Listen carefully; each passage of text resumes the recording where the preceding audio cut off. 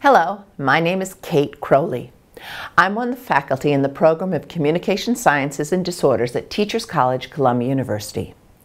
I have created these video modules with my co-author, Georgia Duan. Welcome to Module 1 of Differential Diagnosis in Preschool Evaluations, a case study. This module series is intended to give evaluators a step-by-step -step approach of how to assess and evaluate a preschool-age child based on current federal law, state regulations, ASHA guidelines, and evidence-based practice. I'm going to use an evaluation of a two-year, 10-month-old boy, we'll call him Alex, who is primarily exposed to English, but also has had some exposure to Spanish. In this module series, we walk through a full evaluation of Alex, beginning with the gathering of data through the final written evaluation report, along with IEP goals. We'll start with the parent interview and analyze prior evaluations and therapy goals. We'll watch my interactions with the child, and as we gather information about the child during the evaluation, we'll go through my analysis as I come up with a differential diagnosis. Finally, we'll organize and synthesize the data examples in the evaluation write-up and IEP goals. We will see how an evaluator gathers information from the parent and from the child, then applies the law, brings in the research, uses clinical judgment, and comes up with a differential diagnosis. In this first module, we'll look at the kinds of prior services Alex received before this evaluation we will see that while Alex definitely needed therapy, his prior evaluations in therapy were incorrect. We can see the consequences of an inaccurate diagnosis, which can lead to inappropriate and insufficient speech services, and more importantly, the delay of services that are truly needed, particularly early intervention. I learned of this case when Alex's mother contacted me because she felt that he needed services which he was not getting. Alex had been evaluated twice before he came to see me. First, when he was two years, three months old in English only, and again when he was two years, seven months old, this time in both English and Spanish. Here are some conclusions contained in the first evaluation. Two years, three months, English only. Jaw stability was reduced. It is recommended that Alex receive speech language feeding and oral motor therapy. Goals to be targeted.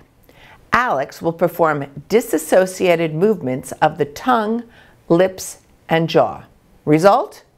Did not qualify for EI services from the New York State Department of Health. Here are some of the conclusions from the second evaluation. Two years, seven months, English and Spanish. He was observed to have pure, poor jaw stability and limited oral movements when talking. In connected speech, his speech intelligibility is significantly limited due to the presences of multiple phonological processes. Result? Did not, did not qualify for EI services, but he was assigned an IEP for the preschool. After two full evaluations using standardized tests, Alex did not qualify for early intervention services. However, he was given an IEP on the basis of having articulation and jaw stabilization issues. When I saw Alex and looked at what his IEP goals were, I felt that it would be very unlikely for these to be appropriate goals, given current research on non-speech oral motor exercises and what we would expect developmentally given his young age. For example, I did not see any problems with jaw disassociation and working on liquid sounds, R and L, and SP cluster, cluster simplification were simply not appropriate for a child less than three years old. Developmentally, ul and er sounds are not considered delayed until the child is six years old, and the s until the child is seven or eight years old, let alone more developmentally advanced SP clusters. Despite two full evaluations and an IEP, his mother, as a preschool school psychologist, had an understanding of disordered and typical speech. I'll talk more about this in the second module. And she contacted me because she felt there was something about her son's speech that was not being addressed.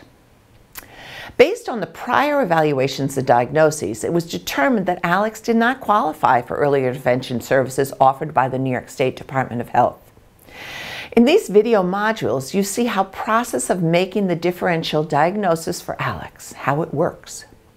He did not have jaw stabilization issues, and his so-called articulation issues were actually the result of a motor planning deficit called developmental apraxia that requires an altogether different therapeutic approach, according to the research.